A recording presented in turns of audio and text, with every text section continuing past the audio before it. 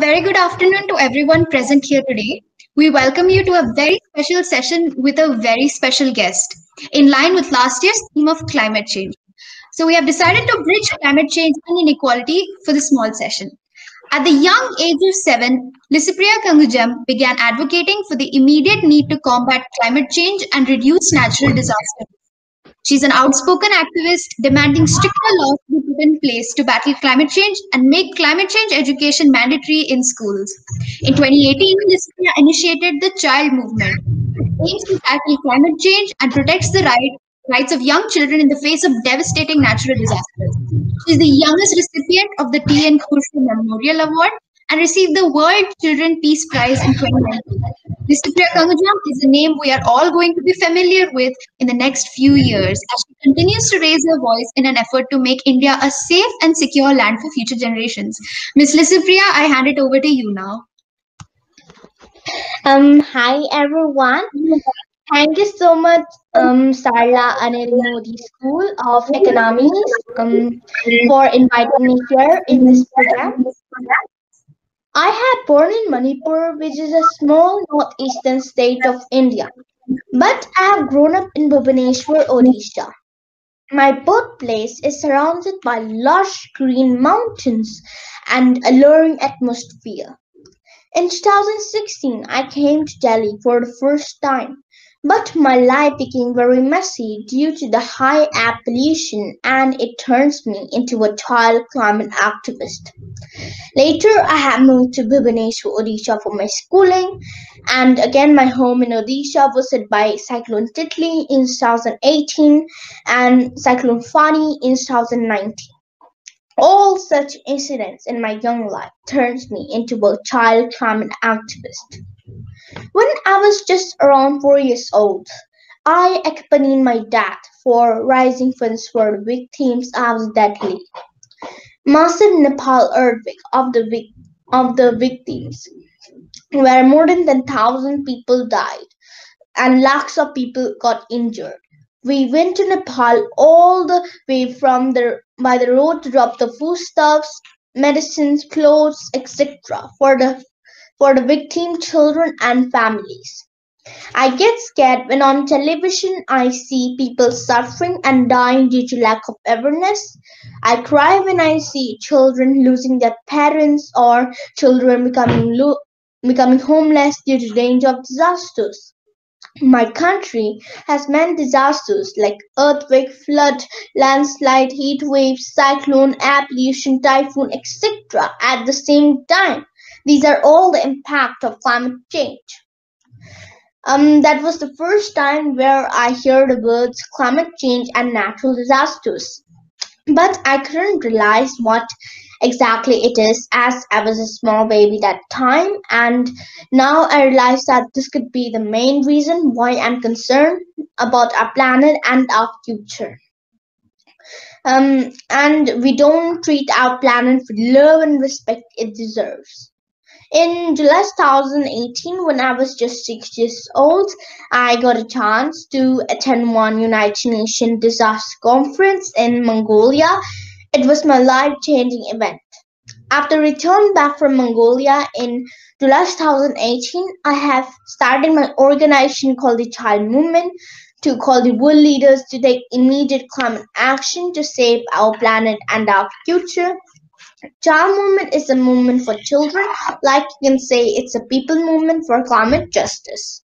Child movement does lots of activities, campaign, and lots of climate strike, climate protests, and also we plant lots of trees with the school children, with my climate activist friends, and with many people around the world and also we give lots of awareness even about water also and how to save our planet and our future that we should not cut trees we should plant more trees we should not use single use plastic and we should always use public transport and and also um you see i'm just 9 years old. Why should i worry about the climate change? Why should i concern about the global warming? Why should i um, talk about the various environmental issues happening around the world. I have to read my books, I have to play with my friends, I have to study, I have to enjoy my beautiful childhood life. But our leaders ruined all our beautiful childhood life. Climate change is not only for me or someone else or for you. Climate change problem is for every single person living in this world. Each and every child living in this country, living in this world, are already the victims of climate change. That's why I'm fighting to save our planet and our future. You can just see in Delhi how air pollution is so dangerous. Even children can't move out of their homes. I'm worried about the health of the school children and small babies. Government announced that, that they will be they will ban the firecrackers for two three weeks, will install two three smoke tower in two three places. But these are not the permanent solution. We don't want any temporary solution, we want permanent solution. And also you can just see in Arctic and Himalayas how icebergs are melting twice as fast than ever before, and our sea level are increasing, and our Earth is becoming very hot. I'm worried about the future of our planet and many biodiversity hotspots become climate hotspots now. I think you all heard in the news about Australia bushfire, California wildfire, Amazon rainforest fire, and Siberia forest fire. Billions of animals has died. Millions of trees has gone. I am really very sad. I couldn't sleep. I couldn't even take my food. Many children lost their homes, but these are all the real effect of climate change. Why our leaders don't have the time to hear all our voice, but this is a real climate emergency. They must act now to save our planet and our future.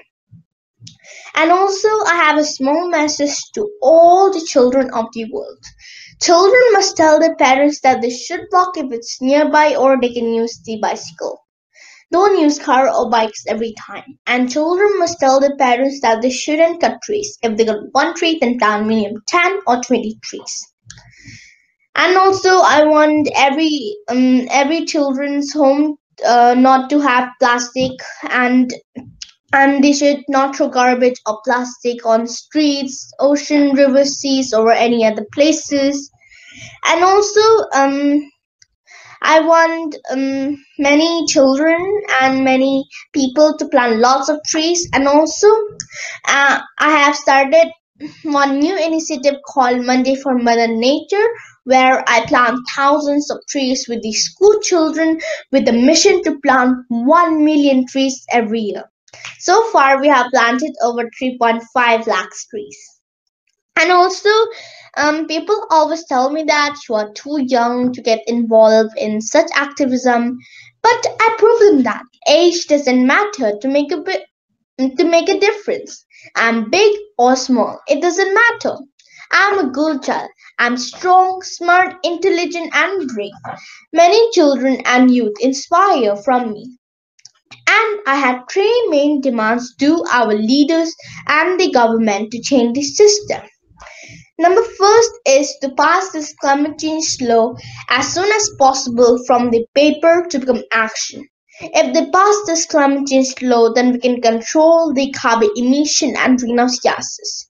And also, um, it will um, and number second demand is um, to include climate change as a compulsory subject in our school education curriculum.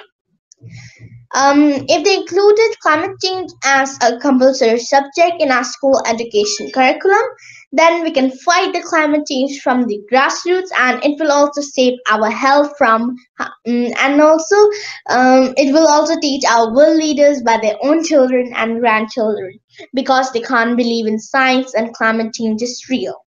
Number third demand is to um, to uh, every student must plant minimum 10 trees every year.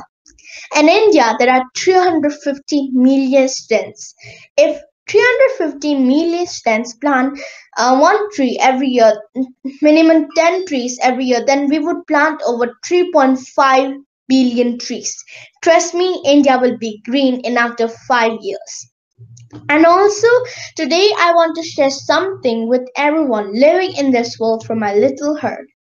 We all know we are facing a pandemic on one side and flood, drought, heat wave, cyclone, locust, air pollution, typhoon, cyclone, etc. on the other side.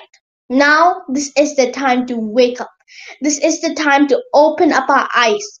This is the time to send your children and grandchildren to fight for their survival and for their own future. The best gift parents can give to their children is not a beautiful house, expensive cars, lots of money. The best gift you can give to your children is a beautiful planet.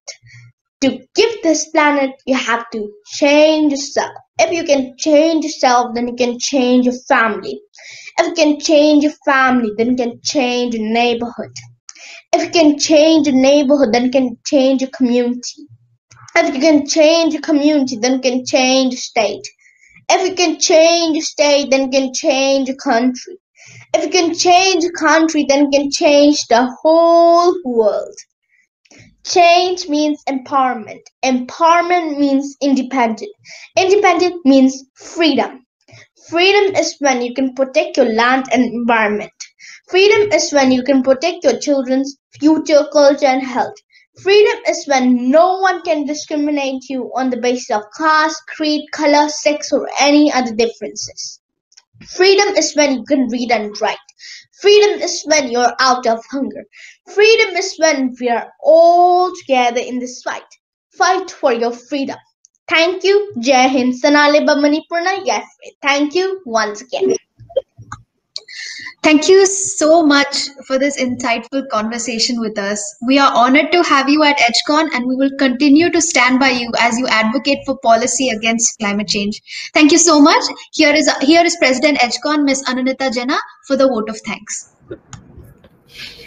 On behalf of the entire team, I would like to extend my gratitude to Licypriya for taking time out from her busy schedule and joining us here today. I would also Thank like so to thank everyone who joined us today, without whose support this wouldn't have been possible.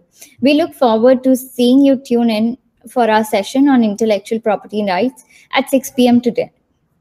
Okay. Thank you so much, ma'am.